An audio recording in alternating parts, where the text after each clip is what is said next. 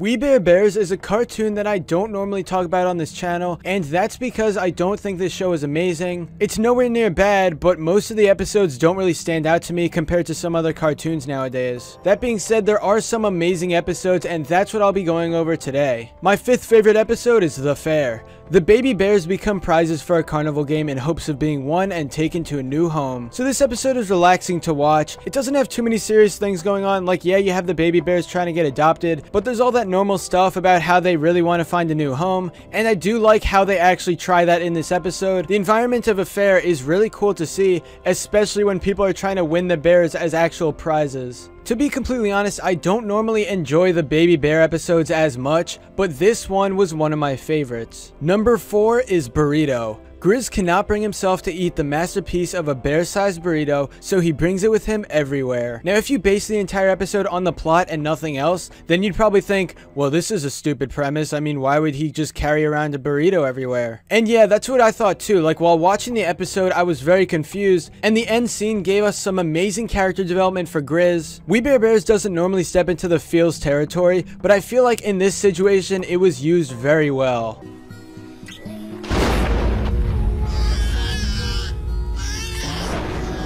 It's okay, little guy. Grab on. You're safe now.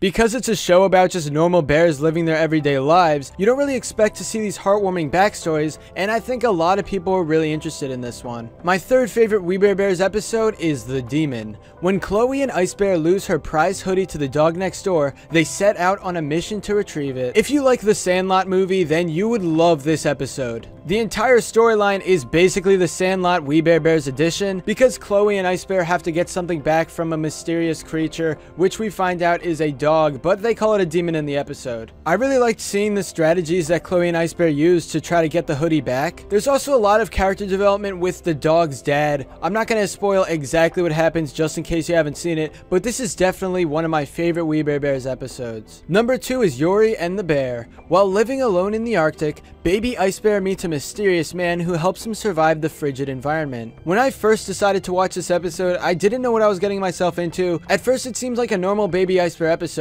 but as it went on, it turns out to be a backstory of Ice Bear and why he acts the way he does. He interacts with this mysterious man named Yuri and he tries to find out his past. The relationship between Yuri and Ice Bear definitely shows off in modern episodes and it's really cool to see this backstory. Similar to Burrito, it's another heartwarming episode. These sorts of episodes happen every once in a while in We Bare Bears, but I feel like that's when the show is at its best. I know there was no sign of Grizz and Panda and that was like the first time that has ever happened in the show, but that doesn't take away from the fact that this was an amazing story with a lot of good character development for Ice Bear. It was also cool to see how he got his axe. And my favorite We Bare Bears episode of all time is Icy Nights. Now right away you might be thinking, ugh Vail, really? Another Ice Bear episode? Well honestly, I think the best episodes include Ice Bear as a major role. If I have to describe Icy Nights in one word, it would be aesthetic.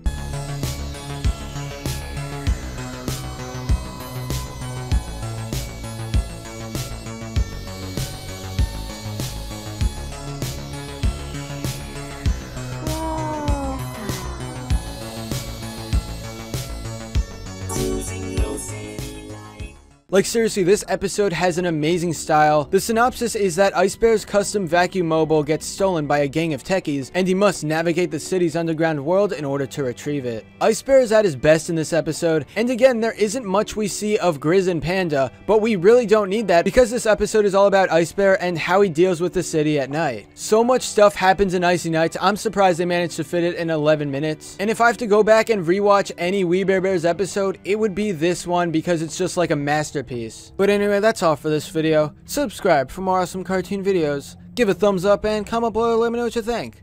Thanks for watching, and I'll see you guys next time.